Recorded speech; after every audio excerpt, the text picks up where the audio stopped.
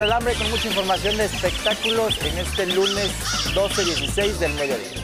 Ay, que lo, lo dijiste de tal manera que dije, ya se equivocó. No, es que es lento pero seguro. Es correcto. Héctor Vargas, qué gusto saludarte. Hola, qué gusto saludar a todos. Y hay que decirlo porque sigue siendo el rey. Y por supuesto me refiero a don Vicente Fernández, que este fin de semana celebró 80 años en su querido Guadalajara, acompañado de su familia, su público, decenas de medios y por supuesto nosotros, como siempre, estuvimos presentes.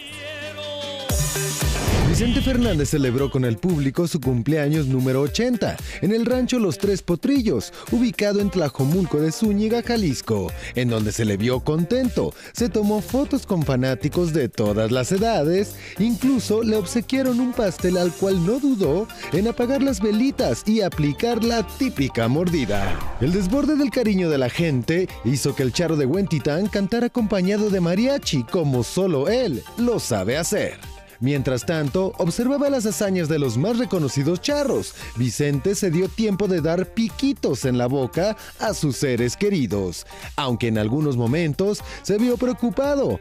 Y es que quizás don Vicente necesitaba reposo. A su salida, entre gritos y empujones de sus seguidores, el intérprete de Acá Entre Nos reveló que estuvo hace poco en el hospital. Me dio una infección eh, muy fuerte y estoy a punto de darme ¿qué? Pero ya está salud. Pero ya está No, mejor. no, ya estoy más bueno que los cacahuates.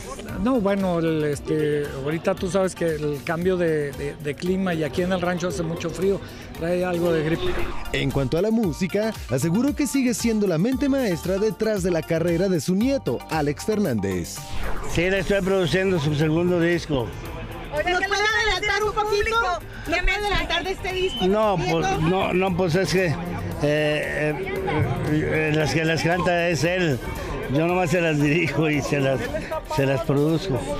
Recientemente, Alejandro Fernández lanzó el tema Mentí a dueto con Vicente. Sí, me siento muy contento de estar con él. Siguiendo con la celebración, la prensa le cantó las mañanitas de esta manera. Pues, Estas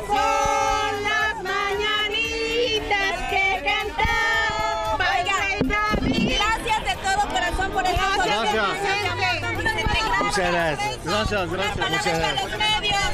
¡Feliz cumpleaños número 80! Desde Guadalajara, Jalisco para Sale el Sol, Eliud Arce. Ahí está la fiesta, ¿eh? Fíjate, la, la persona, la señora a la que le dio un beso de piquito en la boca a Vicente Fernández es su nuera. Es Alba, esposa de su hijo Gerardo. Ahí está, para que no anden ahí inventando chismes. Ay, no, pero de todos modos, es- digo, sabemos que así es don Vicente. es pero... que él a todos sus seres queridos le da su piquito. A todos, hasta Alejandro hemos Sí, visto. claro. Yo no me veo dándole piquito a mi suegro, ¿no? Sí, la verdad es que no. Pero es impresionante el, el cariño del público hacia don Vicente. Yo sí digo, nos hace falta en el escenario, se le extraña Claro. muchísimo arriba del escenario, pero lo importante es que tiene salud, se ve bien, se ve muy fuerte, a pesar de que él nos comentó que estuvo Hospitalizado. hospitalizado, pero pues un gran, gran abrazo y, y me encanta que además le abren las puertas al público para que festejen con él, ¿no? Exactamente. Una decena de medios de comunicación estaban hasta allá en Guadalajara buscando la declaración de don Vicente. Fueron muchos. ahí Por ahí andaba nuestro compañero Eliud Arce. Consiguió estas declaraciones. También le preguntaron por su nieta. Sí. Y a su nieta no la va a ayudar como ayuda a, a Alex. Y él dijo, no, ella no, porque ella canta pop y yo, y yo pop no canto y no sé nada. Directo y tajante, ya sabes cómo es. Pero bueno, siempre habrá algún consejo que le pueda dar para, pues, no sé, enfrentar a la prensa, por ejemplo, o antes de subir al escenario. Siempre habrá un consejo porque pues, es el grande. Como Eh. dijimos hace un ratito, sigue siendo el rey. Exactamente.